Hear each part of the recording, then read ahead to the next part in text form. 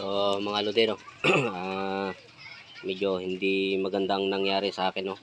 Si Hercules ay ah, bumigay na no sa katagalan. Ayaw na gumana. So binuksan na natin at ah, kung ah, titingnan natin visually kung ano yung pwede nating makita na sanhi ng kanyang ah, kamatayan. So testing natin dito. Natin tong pano, binuksan na natin. Sinanganan natin to. Ito yung patakbo.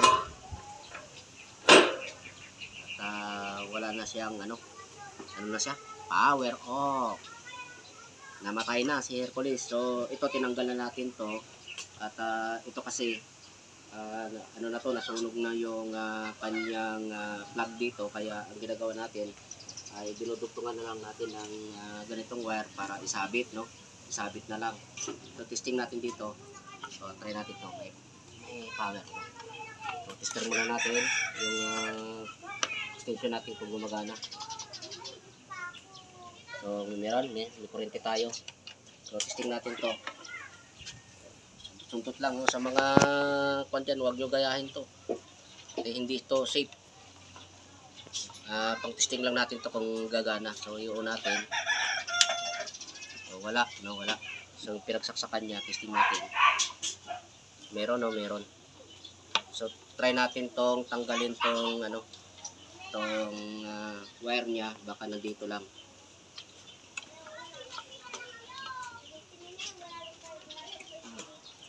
So, siya nga pala mga lodi, no, hindi naman ako talaga technician, no. Dunong-dunungan lang ako. So, bago natin dalhin to sa technician, eh, balay mo, baka magawa natin ng paraan. So, saksak lang natin to. Layo lang natin sa atin at baka tayo makuryente naman. Oh, kasi kuryente pa rin to. Alam natin na wala siyang uh, try natin to. Natin.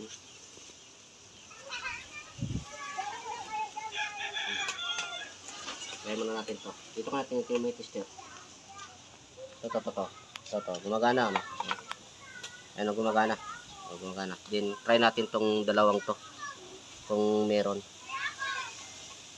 So, wala, no? Wala. So, ito, wala. Hindi, hindi gumagalaw. So, ibig sabihin, baka ito lang ang problema natin, tong wire na to. So, yun lang ang uh, pa natin palitan. So, bumili na ako ng ano, ang ganda na rin tayo para hindi na maba video. Ito. Ah, Royal Cord.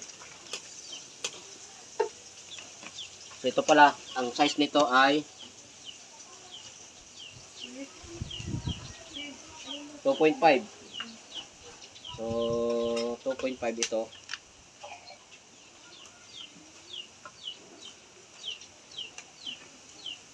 Three point five mm. So 2.5 ang ano nito, ang ang equivalent nito ay number 10 pero manipis lang no, parang 12 lang yung uh, kwan niya. Ito naman ay number 12 no. Ah, nakalagay dito ay ah, 2.5. So ibig sabihin number 12 to tong ah, laman niya. So ito 3. point, ano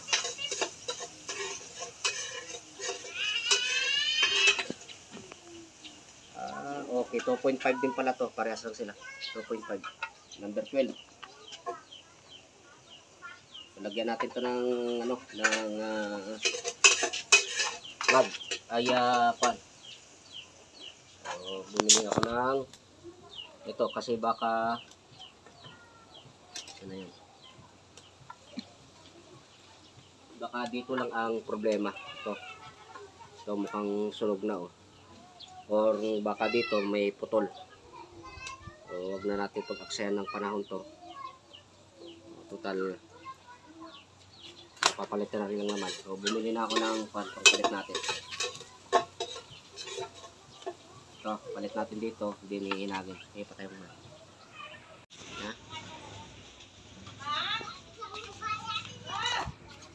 So mga lodi no ah Naglagay na tayo ng ah, terminal, no? Yung terminal ay hininang na natin para sigurado tayong ah, mahigpit no. Then eh, titisting natin ulit dito, no? kabit na lang natin dito sa kanyang ah, plug. Hindi kung okay na, ah, binabala kong ihinang na lang to para wala nang pan. Hindi na siya mag-iinit.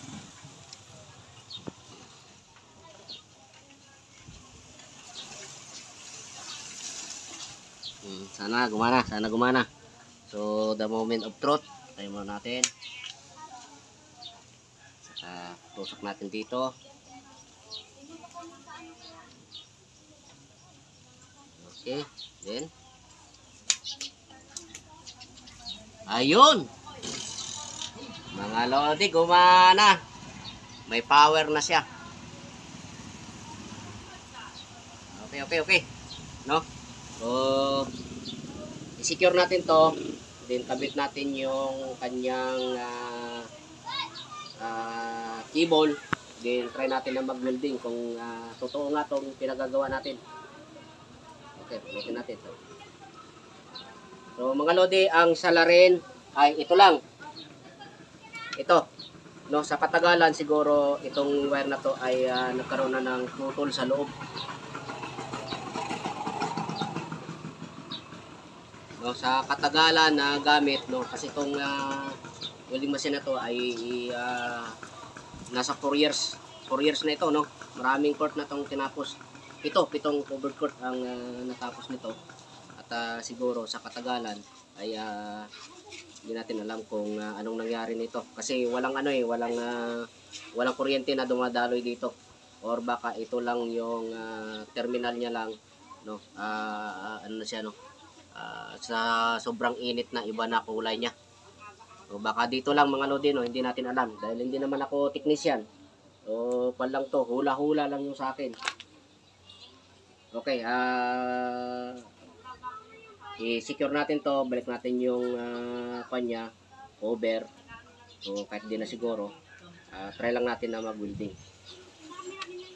Okay, mga lodi pala ito, yung ganito mga lodi, wag niyo gamitin na pang ano to ha, pang ah, gawing ah, saksakan ng welding machine.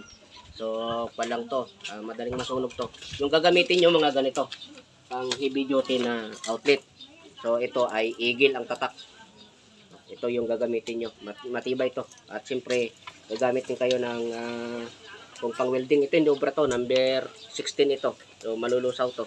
So, gamit kayo ng number 12 na cable na extension.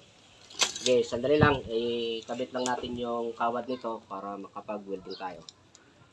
Yung mga dito, ah ito na gagamitin natin. Itong ah, extension na. Kasi nakatusok lang yan dun sa ano natin, sa outlet. So, testing natin kung may power na. So, ayan o. Oh, yung magalaw na yung tester natin. Then, ito, tutusok lang natin to. No, pang samantala. Para makapag-testing lang tayo.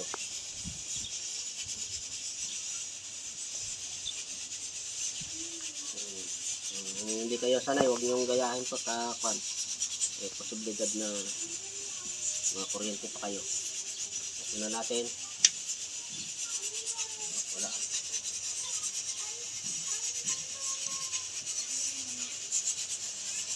Ayun. So, meron na. Ito, gumagana na.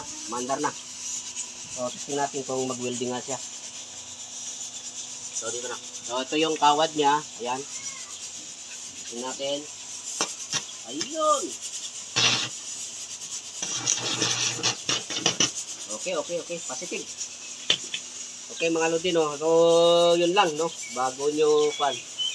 Ah, bakit kung hindi wala kayong ideya, eh wag niyo kalikutin yung ah, ah, makina nyo, welding machine nyo kasi electronics ito, no? Ah, baka mamaya may magalaw kayo diyan na hindi dapat. So ako kasi kahit papano meron akong ah, ideya sa pagkakalikot kaya minabuti kong kalikutin muna bago magpasya kung talagang dadalhin natin sa teknisya kung hindi natin kaya. So nakita natin na ah, simple lang naman pala ang problema niya no. Ah, nag-cut off lang yung ah, supply niya kasi dito sa ito to sa wire niya. Yung napapansin niyo maiksi na lang to dahil ah, nasunog na ang ano nito, yung ah, kanyang plug, no? Kaya ang ginagawa namin, ah, dinudugtungan ito ng wire din na sinasabit na lang. So yung mga kasamahan ko, kung minsan takot na magtanggal na dito, ah, ginagawa pinuputol ng ah, cutter. So nangyayari, umutsi ng umiksi. So hindi natin alam kung uh, wag na natin pag-aksayan pa to kung ah, ano ang ano nito. At at least alam na natin na ito yung may problema. So ito ipipix na natin to. So ito bala kong hinangin na lang dito. So okay, okay na. So dito, ito yung kanyang ah, terminal, no. Ah, bala ko na hinangin na lang para just in case hindi na to mag ah, focus pa ng problema, o magluwag. So hindi ko lang alam kung advisable na hinangin kasi kung ah, kailangan ito hinangin, dapat sa pabrika pa lang ay hininang na ito. So siguro ah, talagang sadyang ganyan ang design niya. O wala na kung hinangin natin o hindi kung uh, higpitan na lang natin to. Okay mga Rodin, ah sana nabigyan ko kayo ng ah, ideya, no? Pero wag niyo kalikutin kung ano. Wag niyo kalikutin kung wala kayong gamit, no? Ah, kasi napakalaga ito tester, no? May tester tayo at ah, para alam natin kung ah, ano ang ang cause ng sira niya. Siyempre, ah, kailangan nyo rin ng ano, just in case, kailangan nyo rin ng panghinang. So, meron din tayong ah, soldering paste para dumikit yung ah, ating ah, lid para kumapit dun sa hihinangin natin. So, kung wala kayong mga ganitong gamit, ay mabuting wag nyo na lang pakialaman at baka makasira pa kayo lalo. So, ito, sa sobrang dumi na, lilinisin na lang natin to. Total na buksan na rin naman ha at siyempre ikuan ko na lang to oh, sa mga makukulit na laging nagtatanong kung ano yung loob nito ni Hercules no? Ito ayan. So ayan oh. Ayan ang loob niya kung ganyang gaano karami ang ah, kanyang ah, loob.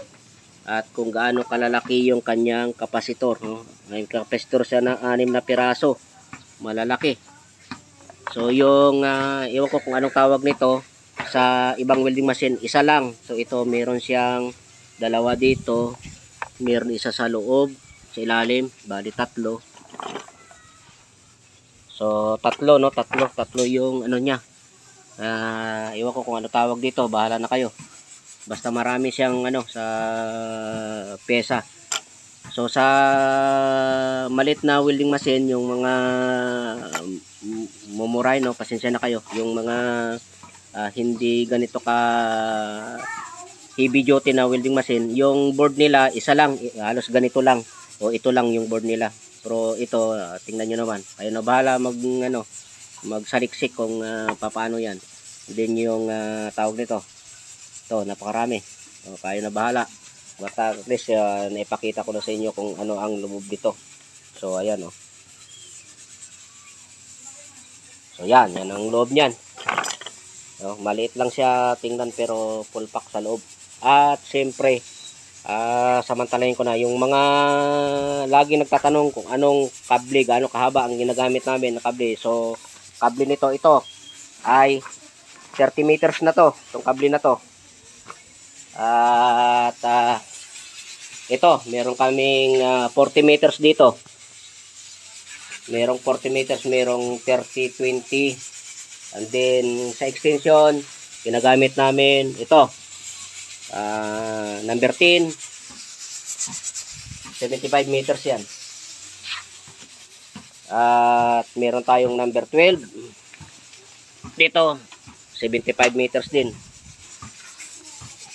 At meron pa tayong isang number 10. Ito. Yan. 75 meters din yan. So, ganyan yung ah, mga uh, tabi na ginagamit natin. Okay mga lodi, no, ah, sasaraduhan ko na itong ah, welding machine. At sana naman ay ah, may ideya kayo kung ah, malay nyo baka yung sira ng welding machine nyo na ganito ay ah, doon lang pala napakasimple lang at ah, pag dinala nyo na sa technician ay ah, siyempre hindi na rin natin alam kung ano ang hatol ng technician sa inyo so mas maigi kung kayo muna. Visual vis- visual ano lang? Ah, visual inspection lang kung may nasunog ba o ano. At ah, mainam kung mayroon kayong tester. Okay mga lodi no, Ah, pa-subscribe na lang mga lodi sa YouTube channel natin at ah, sa Facebook page namin. Paki-follow na lang din. O, paki-share na lang itong video na to para marami ang ah, makaalam na posible pala na napakaliit lang ng ah, sira ng ah, welding machine nila. So muli ito si Hercules ay ah, super, super heavy duty. So tatakpan na natin to at ah, magpi-prepare na kami ng ah, ano ah, gamit namin papuntang Bataan. At ito pala din yung ano, isang Hercules natin. No? Tsaka si Prokip.